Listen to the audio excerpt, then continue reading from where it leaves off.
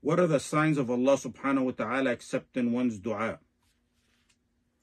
The fact that Allah subhanahu wa ta'ala inspired you to make dua is a great sign that Allah subhanahu wa ta'ala will answer your dua.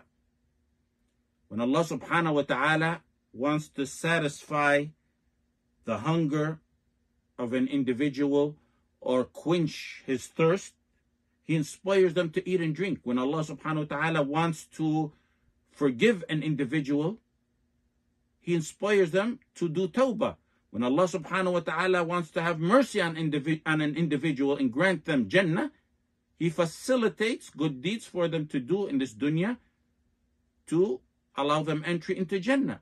And likewise, when Allah subhanahu wa ta'ala wants to answer your dua, He inspires you to make the dua. And that's a sign and a mighty sign of the dua being accepted. Umar radiallahu anh used to say, I don't worry about my dua being responded to. I worry about making the dua because if I've been inspired or guided into making the dua, I know that the response comes with it. Ibn al-Qayyim rahimahullah ta'ala said something very similar. He said, if Allah subhanahu wa ta'ala grants one the ability to make dua, He will grant the answer. Because if Allah subhanahu wa ta'ala didn't want to answer the dua, He would not have inspired him to make that dua. More important than the signs is the promises of Allah subhanahu wa ta'ala. Udu'uni astajib lakum.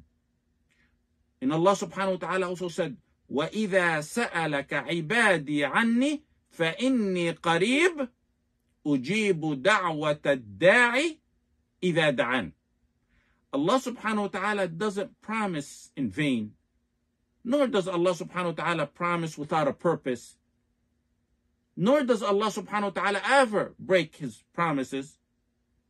So the first matter is that Allah subhanahu wa ta'ala inspiring you to make dua is a sign that Allah subhanahu wa ta'ala will accept the dua. There's other signs, they're not in the Quran nor in the Sunnah. They're somewhat of an ijtihad by some ulama. Shawkani rahimahullah ta'ala said they're tajribiyya, meaning they're derived through experience. So there's no proof needed, he said. Among the signs some ulama mentioned is that when one completes the dua, he feels deep awareness of the power and greatness and majesty of Allah subhanahu wa ta'ala. And one may experience crying or chills or trembling or fainting or even passing out. And it'll be combined with the relaxation of the heart and a cool mind. Some said that one will feel refreshed and rejuvenated internally with a feeling of outward lightness. As if, like, for example, a heavy load was taken off their shoulders. And let me mention a personal story pertaining to this. In the past many years, I've endured many trials, alhamdulillah rabbil alameen, and there was one more serious than the others, very serious. I was only in contact with a handful of people, and I didn't even have a phone then.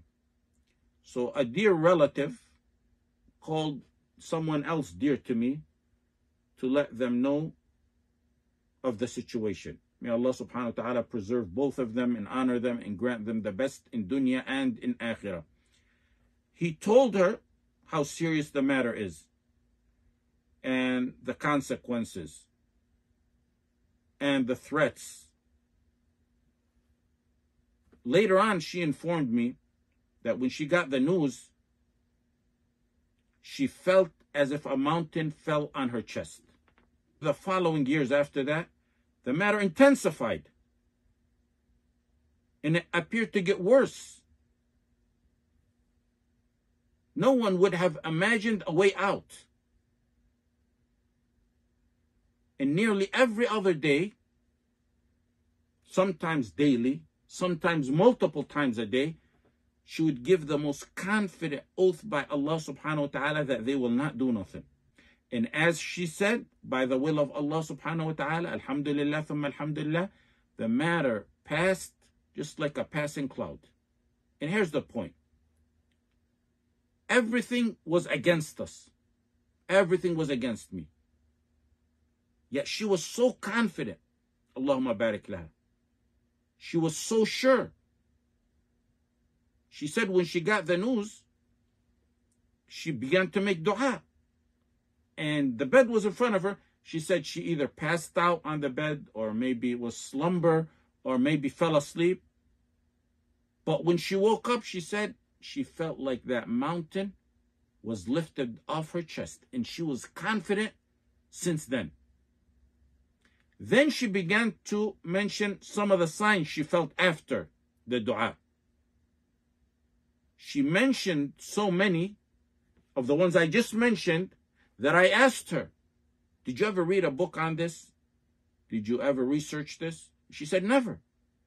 In addition to what ash-Shawkani said, many of the signs can be deduced or inferred from general proofs. For example, the dua of the mudtar, one who sincerely makes dua while he's in distress. The dua that Allah subhanahu wa ta'ala specifically promised he will answer. The dua of a person who's drowning or like a person who's drowning. The dua of one who feels alone and helpless and that no one can help him but Allah subhanahu wa ta'ala. Aside from the general promises that Allah subhanahu wa ta'ala answers dua, this is among the matters that there's a specific promise from Allah subhanahu wa ta'ala pertaining to it. أَمَّن يُجِيبُ الْمُضْطَرَّ إِذَا دَعَاهُ وَيَكْشِفُ السُّوءَ وَيَجْعَلُكُمْ خُلَفَاءَ الْأَرْضِ. In fact, Allah subhanahu wa ta'ala answered the kuffar in distress. فإذا ركبوا في الفلك دعوا الله مخلصين له الدين. فلما نجاهم إلى البر إذا هم يشركون. That type of dua usually that type of dua usually contains many of the signs that we mentioned like tears chills possibly passing out due to the nature and circumstances of that kind of dua due to the dire situation that one is in. The dua is usually also combined with thiqah in Allah and yaqeen and in truthfulness and sincerity, which are essential conditions for dua to be answered. When the kuffar made such a dua, Allah subhanahu wa ta'ala said, مُخْلِصِينَ لَهُ الدِّينَ دَعَوُوا اللَّهَ مُخْلِصِينَ لَهُ الدِّينَ They invoked Allah subhanahu wa ta'ala with pure faith in Him. Then after one truly leaves the matter to Allah subhanahu wa ta'ala, after he's done with the dua, he leaves it to Allah subhanahu wa ta'ala to handle, he'll feel as if the burden has been lifted off his shoulders. The dua of the mudtar was merely an example. Just an example to show how we can derive some of the signs from certain situations of dua. But it doesn't have to necessarily be someone drowning. It could be someone drowning in the trials of life. From the mercy of Allah subhanahu wa ta'ala is that at times He may inflict someone with trials so that they can better their dua and work on their dua. And then they will make the dua that Allah subhanahu wa ta'ala will answer. Some may leave the hardship with a pleasurable bond with Allah subhanahu wa ta'ala through, du- through dua. Some may remain in the difficulty, but they've attained a bond with Allah subhanahu wa ta'ala through dua that they forgot their initial issue that they that caused them to start making dua.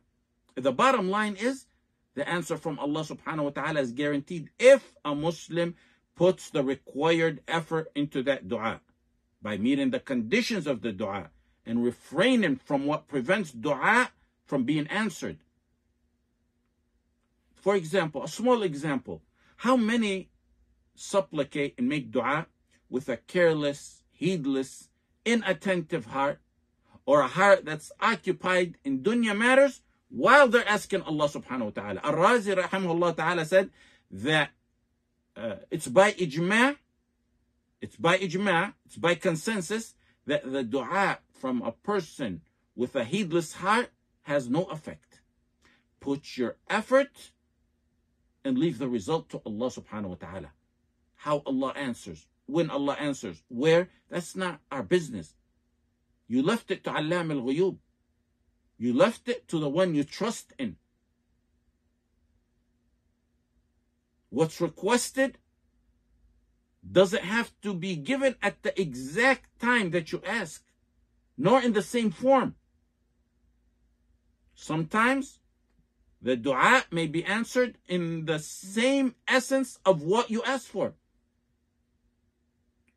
Sometimes evil will be averted from an individual.